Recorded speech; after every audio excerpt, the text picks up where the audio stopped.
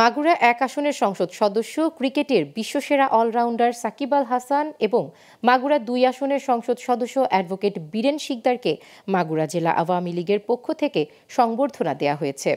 দুপুরে স্থানীয় আসাদুজ্জামান মিলনায়তনে জেলা আওয়ামী লীগের আয়োজনে আওয়ামী লীগের সব অঙ্গ সংগঠনের পক্ষ থেকে মাগুরার দুটি আসনের আওয়ামী লীগের দলীয় এমপি সাকিব আল হাসান এবং বীরেন শিকদারকে ফুলের শুভেচ্ছা জানানো হয়।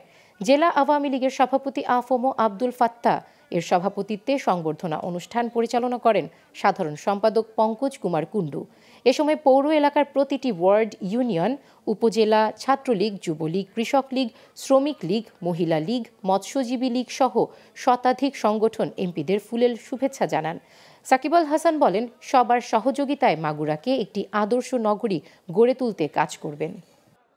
জনগণ যারা ভোট দিয়েছেন জেলা আওয়ামী লীগ থেকে শুরু করে অঙ্গ সংগঠন সবাই যেভাবে কাজ করেছে নির্বাচনের সময় এর থেকে বোঝা যায় যে আওয়ামী লীগ কতটা সংঘবদ্ধভাবে কাজ করেছে এবং তার ফলশ্রুতি আপনারা ভোটের মাধ্যমে দেখতে পেরেছেন। এখন আমাদের দায়িত্ব আমরা দুইজন মিলে যেন মাগুরাকে সুন্দর একটি মাগুরা গড়ে তুলতে পারি।